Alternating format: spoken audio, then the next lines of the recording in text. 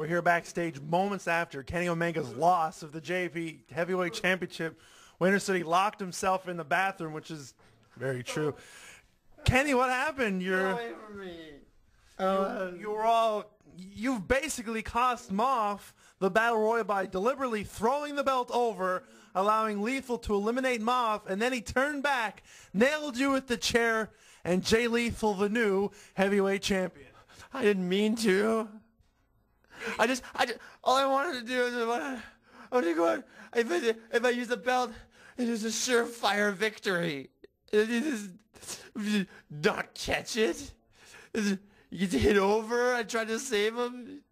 So the quick clip was true. There was dissension in the ranks between Maff and you, and it virtually cost you your heavyweight championship.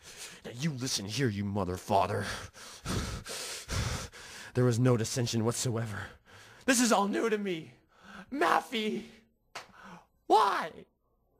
Don't you understand how depressed I am? I'm sitting in a washroom stall by myself.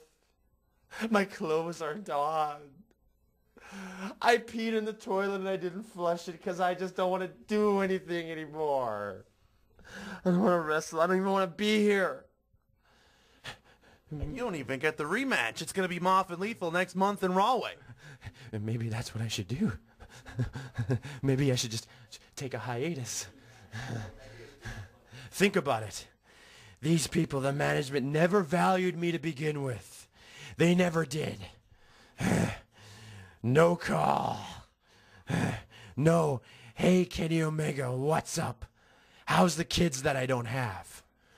No email! oh wait, that's Dan Maff's line. You get the point though.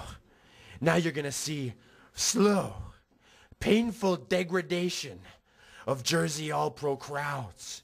You're gonna see slow, painful degradation of the quality of Jersey All-Pro shows.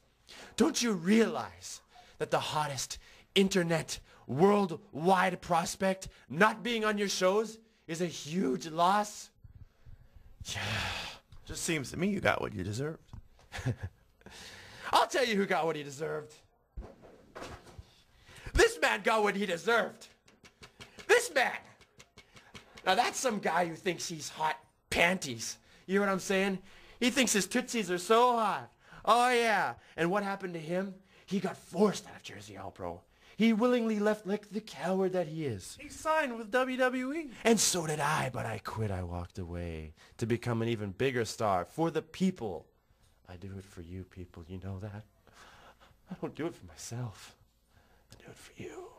And now, the very people that I have inspired throughout all these months and years as Jersey All-Pro champion, through all the decades of being Jersey All-Pro champion, you've now chosen to drive me away? Do you know how much it hurts me to hear the ovation for Jay Lethal? I took the proverbial lethal injection, not from you, Jay, but from the fans. So now it's time to take the walk of shame. I may be back. I may be not. But if I'm back, Jack, then I'm coming for revenge. I'm not going to have any friends. I'm going to come alone. And I'm going to settle the score. Don't forget me. Don't you forget about me. Don't, don't, don't, don't. Don't you forget about me. As you walk on by, will you call my name? As you walk on by, would you call my name? Or would you walk away? This interview's over.